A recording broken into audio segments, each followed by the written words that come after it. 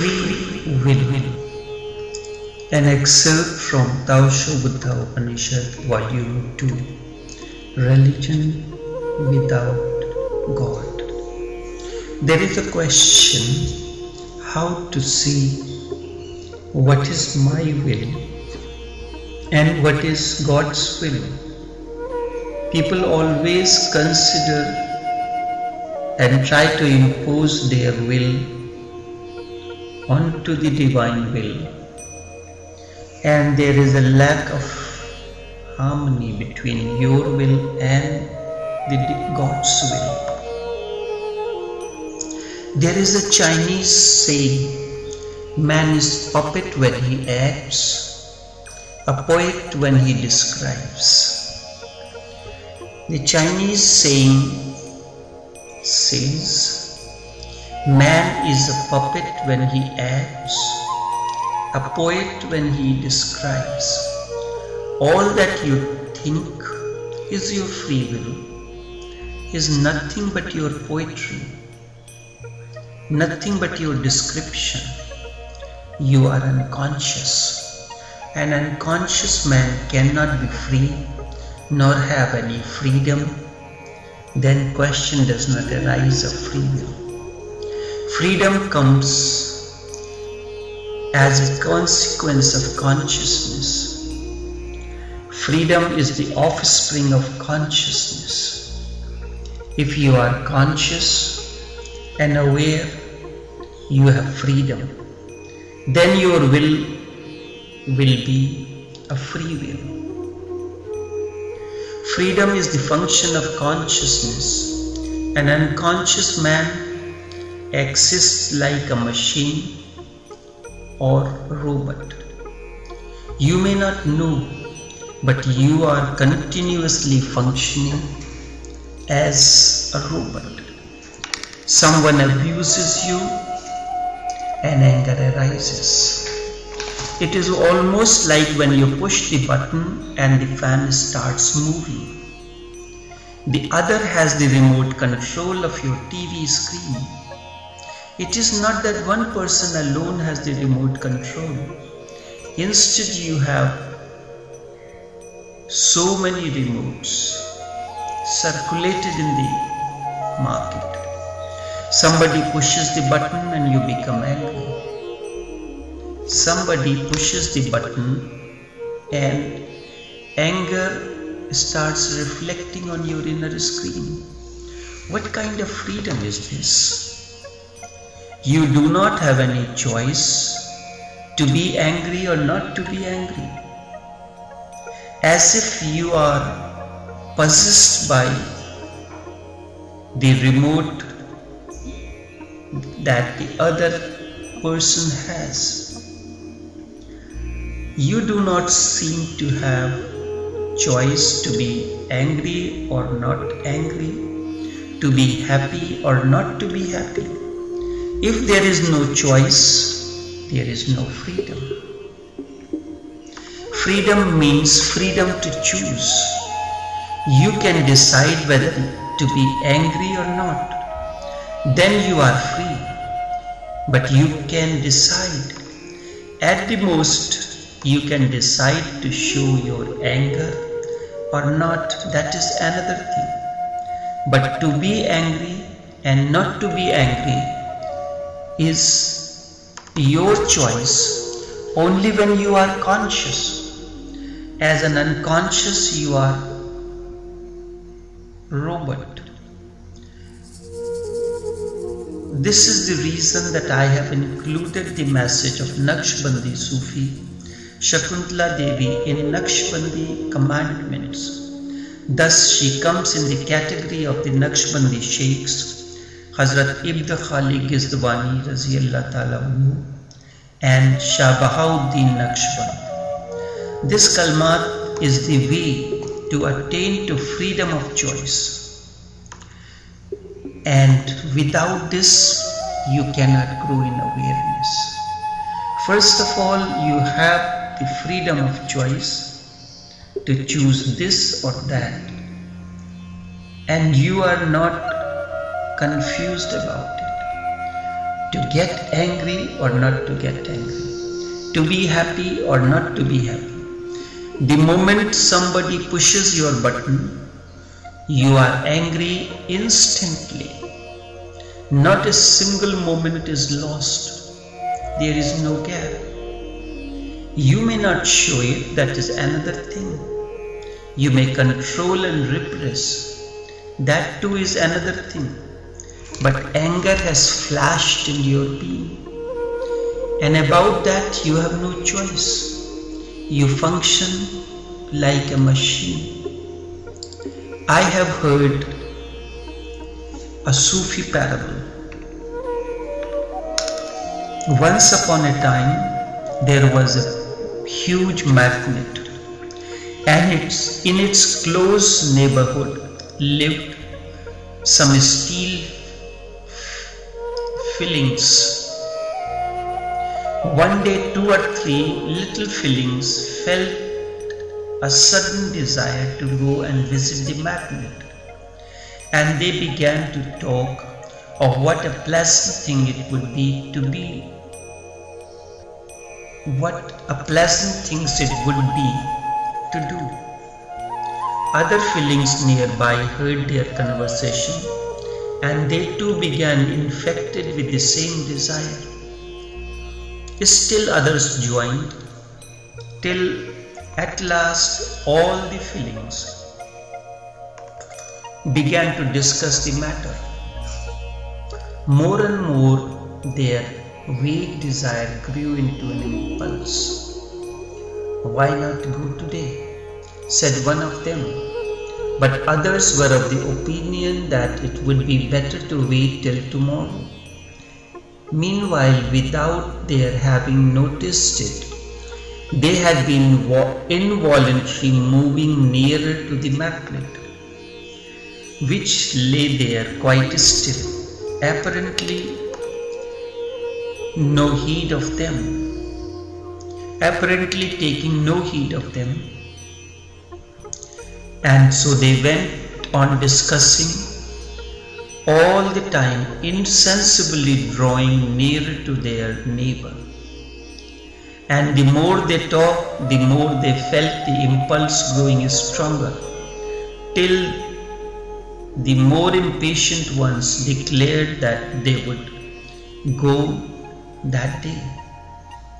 Whatever the rest did, some were heard to say that it was their duty to visit the magnet and that they ought to have gone long ago. And while they talked, they moved always nearer and nearer without realizing that they had moved. Then at last the impatient ones prevailed, and with one irresistible impulse, the whole body cried out, There is no use waiting. We will go today. We will go now we will go at once. And then in one unanimous mass, they swept along, and in another moment they were clinging fast to the magnet on every side. Because iron is always attracted to the magnet. Then the magnet smiled. For the steel fillings had no doubt at all, but they were paying their visit to their paying their visit of their own free will.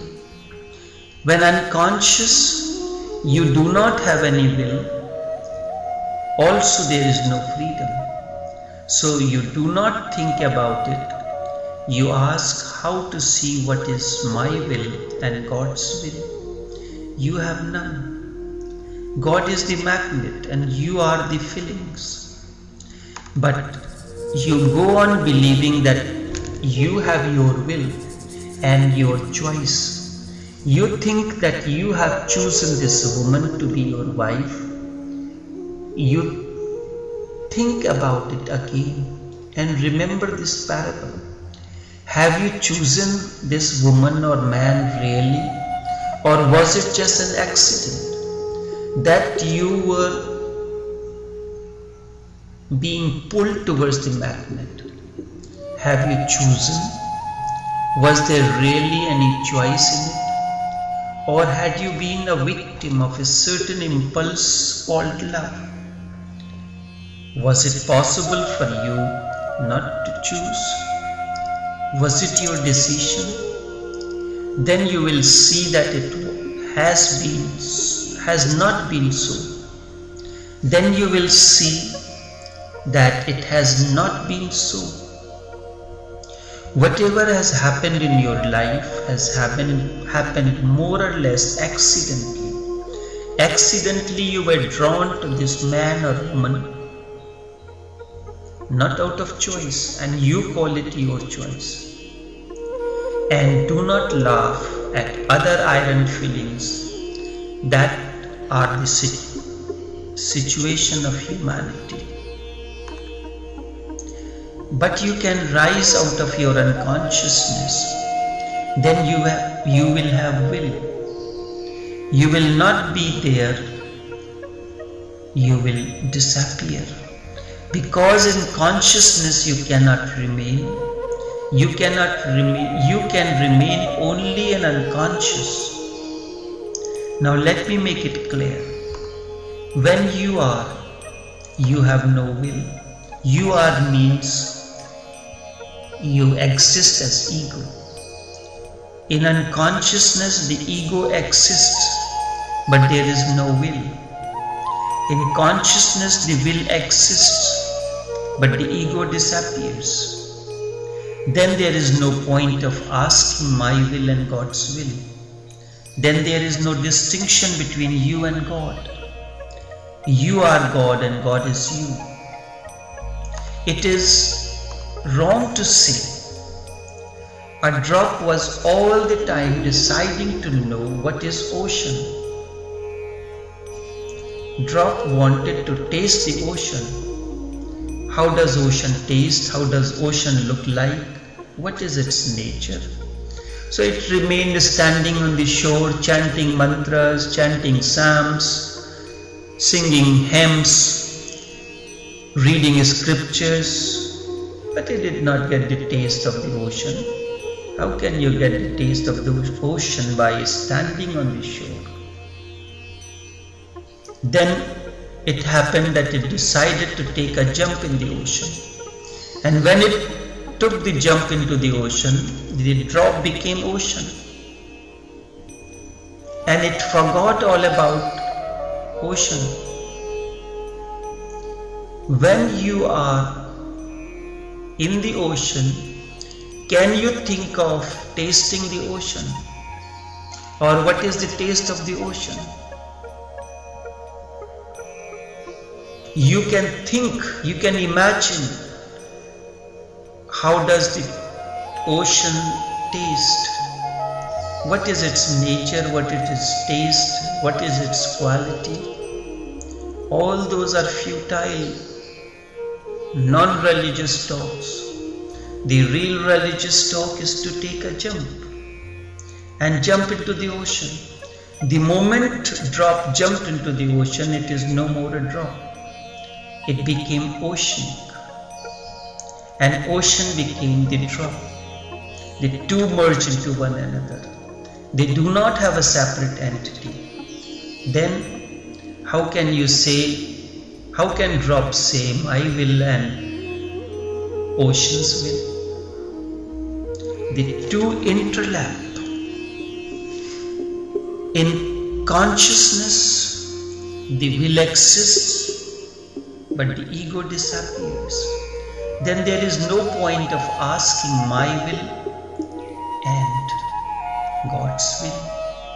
Then there is no distinction between you and God. You are God and God is you.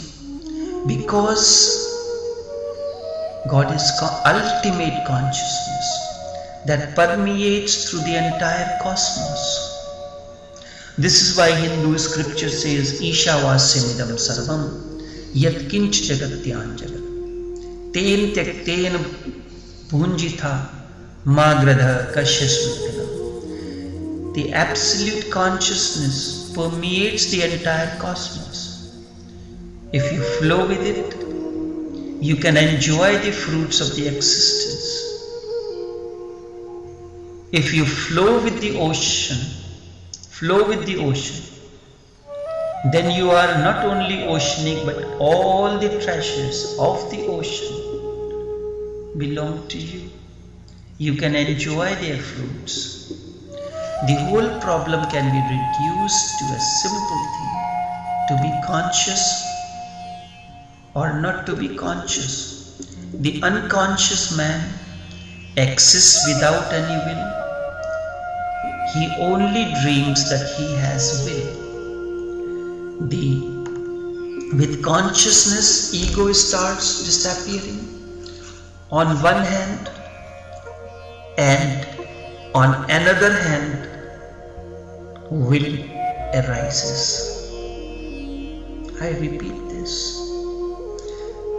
With consciousness ego starts disappearing on one hand and on another hand will arises.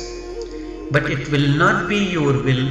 Instead it will always be god's will. Then you are not existing anymore as a drop instead the totality exists.